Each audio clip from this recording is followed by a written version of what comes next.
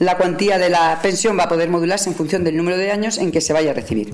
Y en paralelo, este factor de sostenibilidad, se va a establecer un índice de revalorización de las pensiones con carácter anual que establezca el incremento que van a sufrir anualmente todas las pensiones. Y esto queremos que entre en vigor el 1 de enero del 2014 y va a afectar a todas las pensiones que están ahora en vigor y a las pensiones nuevas. Las pensiones nunca se van a congelar.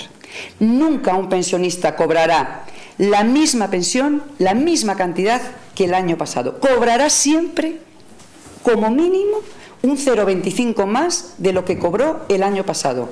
La ley orgánica se va a aprobar la ley orgánica del control de la actividad económica y financiera de los partidos políticos.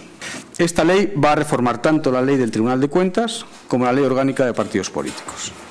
Al Tribunal de Cuentas se le van a dotar de más medios personales y materiales para llevar a cabo la fiscalización de los partidos. Se le va a dotar de fórmulas de colaboración que hasta ahora no existían por ejemplo, con la Agencia Tributaria, o con el Instituto Nacional de la, Seguridad Social, o con la Oficina de Conflictos de Intereses. Por tanto, fórmulas de colaboración para que el Tribunal de Cuentas esté en contacto con esos órganos, con la Agencia Tributaria fundamentalmente.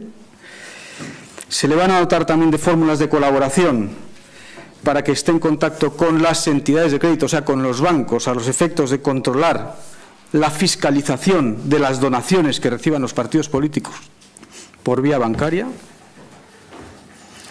y se van a introducir mejoras en el procedimiento sancionador del Tribunal de Cuentas. Hombre, siempre la ley es mejorable y siempre seguro que alguna grieta se nos ha quedado en el camino y siempre seguro que alguien encontrará alguna vía para cometer alguna irregularidad. Pero lo que le puedo asegurar es que a partir de ahora va a ser muchísimo más difícil cometer cualquier irregularidad fiscal, contable, económica en España. Muchísimo más complicado.